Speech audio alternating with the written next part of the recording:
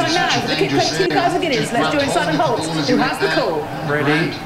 Play that ball there. And they're off for the Qipco 2000 Guineas. Away well Dubai Mile in the centre. Hi Royal Nose Bandit. Chaldean on the far side with Flight Plan. And they're chased by Noble Style. Near side, Silver Knot very hand in the blue white cap. Out on the near side, Little Big Bear. Along with Royal Scotsman. Then Indestructible. August Rodin is just towards the rear. It got a bit tight there with Royal Scotsman. Charyn is pulling hard. Sakheer is anchored at the back of the field.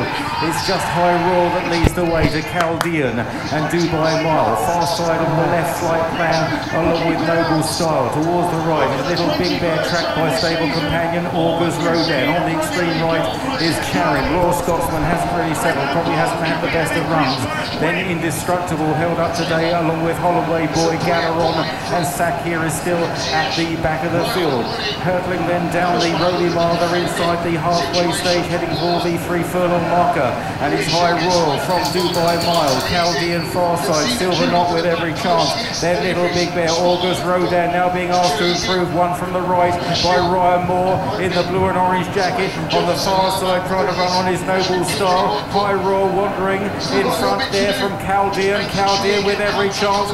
Royal Scotsman now coming through well on the stand side with Sakheer. The favourites well beaten. Both the O'Brien horses well beaten. They run into the dip. Chaldean far side. Hi Royal just can't run straight.